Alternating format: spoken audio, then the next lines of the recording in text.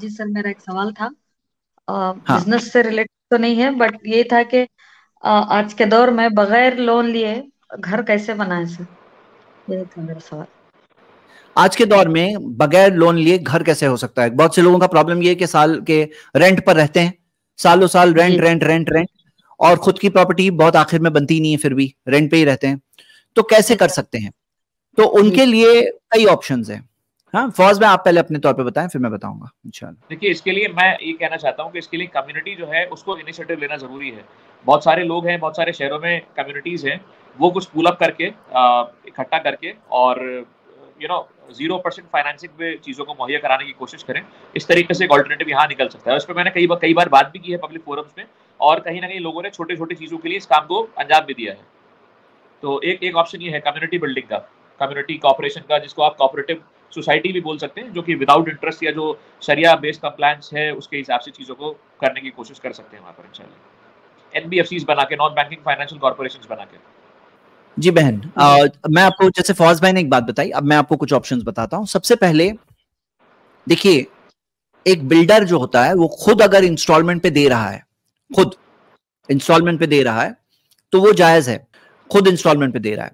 यानी कि वो कहे कि आप मंथली मंथली इंस्टॉलमेंट भरो और ये प्रॉपर्टी आपकी। होता क्या है कि जो आउटस्कर्ट्स पे जो जो मकान होते हैं, शहर के थोड़े दूर के इलाके में होते हैं तो वो दूर के इलाकों में जो बिल्डर्स होते हैं, जो अपनी प्रॉपर्टी वहाँ पे बेच रहे हैं, अपने फ्लैट्स वहाँ पे बेच रहे हैं तो वो लोग अपनी सेलिंग बढ़ाने के लिए कई बार कई जगहों पे सुनने में आता है कि वहाँ पे वो लोग मंथली इंस्टॉलमेंट के साथ परचेज करो, ऐसी स्कीम्स देते हैं, जो बैंक फाइनेंस के ऊपर नहीं होती, खुद वो इंस्टॉलमेंट देते हैं। तो बैंक फाइनेंस हराम है, क्योंकि बैंक क्या करती है? बिल्डर को डाउन पेमेंट देती है जो देना है और आपसे इंस्टॉलमेंट्स लेगी, यानी आपकी तरफ़ से एक पेमेंट दिया और आपकी तरफ़ से वो पेमेंट के बदले में, पैसे के बदले में पैसा ले रही है। तो ये क्लियरली हराम है। तो ये एक हुआ पहला ऑप्शन सेकेंड हायर परचेस वाला एक सिस्टम होता है।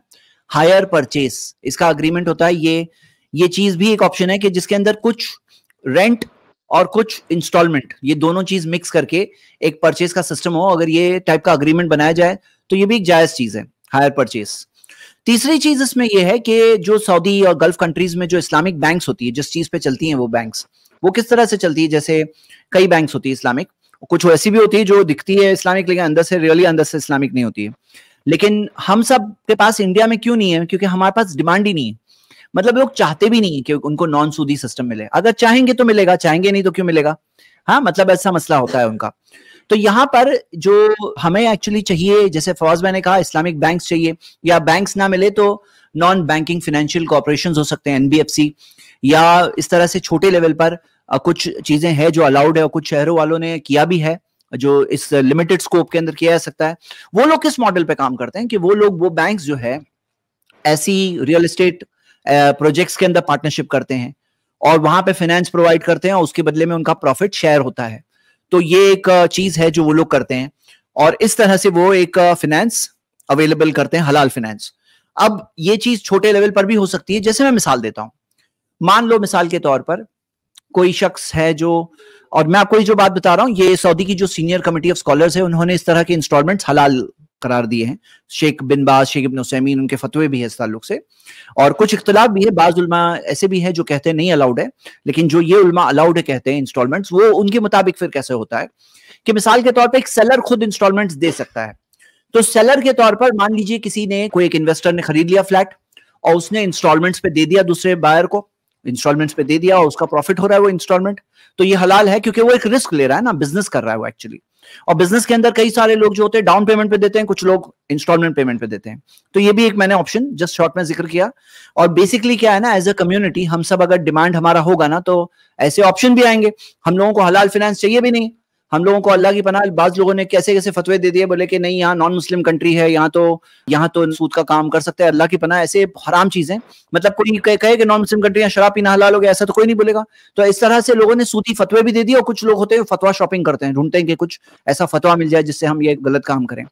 जी तो ये मैंने कुछ ऑप्शन बताए। जी फ़र्स्ट में आप कुछ बोलना चाह रहे हैं ऐसा लग रहा है आपको? देखो आ, नहीं आ, जो आपने बताया ना बिल्डर वाला ऑप्शन ये बहुत अच्छा ऑप्शन है और ये मतलब दुबई वगैरह में ये लोग कर रहे हैं काम इसको। और ये मतलब अपॉर्चुनिटी के तौर पे लोग को लेना चाहिए जो लोग यहाँ देख रहे हैं प्रोग्राम उसमें हो सकता है बहुत सारे लोग रियल एस्टेट पे हाँ, काम कर रहे सुन रहा है तो ऐसा ऐसा प्रोजेक्ट लाओ भाई ताकि जो लोग अपना खरीदना चाहते खुद का घर रेंट पे रह रहे हैं उनके लिए बहुत अच्छी अपॉर्चुनिटी है वो अपना कस्टमर बेस बढ़ा सकते हैं। सबसे बड़ी बात ये कस्टमर बेस बढ़ा सकते हैं यूथ सेलिंग कर सकते हैं मास सेलिंग एक एक पर्टिकुलर नीच को टारगेट ना करते हुए वो अपना कस्टमर कस्टमर बेस बढ़ा के बहुत सारे कस्टमर्स को इनवाइट कर सकते हैं। उनका उनका जो प्रोजेक्ट है वो जल्दी जल्दी सेल होगा और जल्दी जल्दी जो है वो दूसरा प्रोजेक्ट में अपना वो इन्वेस्टमेंट वापस से लगा सकते हैं। तो ये बहुत अच्छी अपॉर्चुनिटी है इसको ऐसा अपॉर्चुनिटी देखना चाहिए लोगों को। जी सही।